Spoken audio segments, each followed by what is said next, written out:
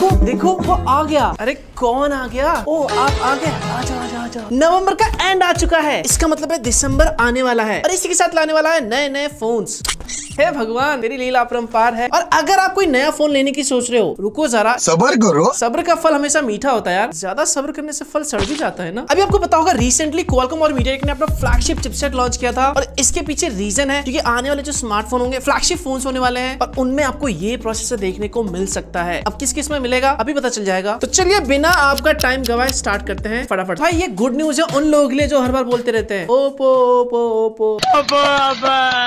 Phone का नाम है ओप्पो रेनो 11 यस ओप्पो का रेनो 11 सीरीज़ जल्दी आपको देखने को मिल सकता है। हालाँकि ये फ़ोन जो चाइना में नवंबर में, यानी इसी मंथ लॉन्च हो रहा है। इसका जो टीजर वीजर है, वो भी आ चुका है। फीचर्स की बात करें तो इसमें आपको डायमेंसिटी 8200 चिपसेट देखने को मिल सकता है। 6.79 इंच की एमोलेड स्क्रीन देखने को मिल सकता है। 120 हर्ट्ज के साथ। 50 मेगापिक्सल ट्रिपल ओएस कैमरा देखने को मिल सकता है। फ्लैगशिप लेवल का 32 मेगापिक्सल सेल्फी 4800 mAh की battery one fifty watt charging के साथ। इसका जो बेस वेरिएंट है, ये आपको डायमेंसिटी 8200 चिप के साथ देखने को मिल सकता है। जो प्रो वाला वेरिएंट है, वो आपको स्नैपड्रैगन 8 प्लस जेन 1 के साथ देखने को मिल सकता है। वीडियो को लाइक कर दो।